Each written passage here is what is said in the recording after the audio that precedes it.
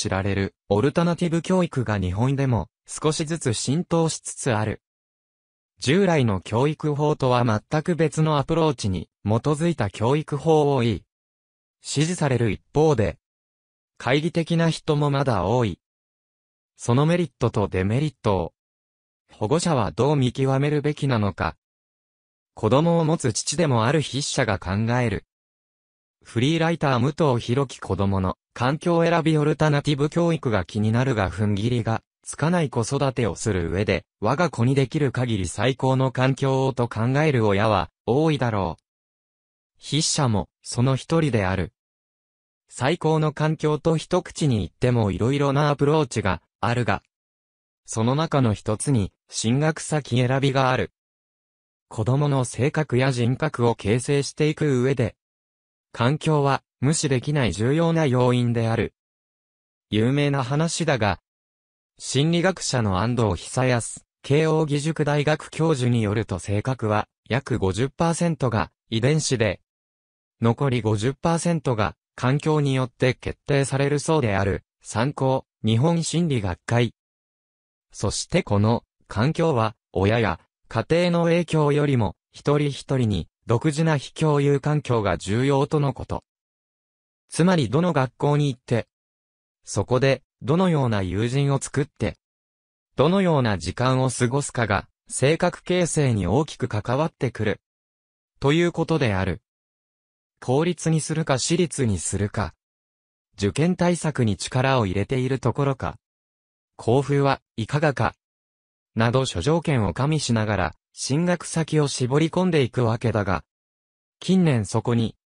オルタナティブ教育という選択肢があることが認知され、始めている。オルタナティブ教育とは、講義には、学校教育法によらない、教育、機関を意味する、不登校児向けのフリースクールなどもこれにあたるが、教義のニュアンスとしては、従来の教育法とは全く別のアプローチに基づいた教育法で、その代表格たる、モンテッソーリ教育やシュタイナー教育が知られている。本校ではこの校舎、教義のオルタナティブ教育について述べたい。筆者も惹かれる部分があるのだが、実際に、そこに我が子を委ねようという踏ん切りが、今一つつかない。世の親は、現状、オルタナティブ教育に対して、どのような所感を抱いているのだろうか。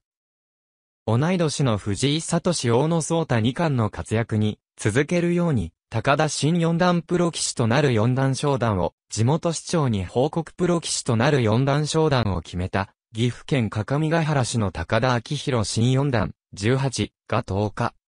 地元の各務原市役所を訪れ、市長にプロ入りを報告しました。高田新四段は10日。両親らと共に各務原市役所を訪れ、浅野健二市長に13勝5敗の成績で4段になりましたと、プロ入りを報告しました。高田新4段は3月6日、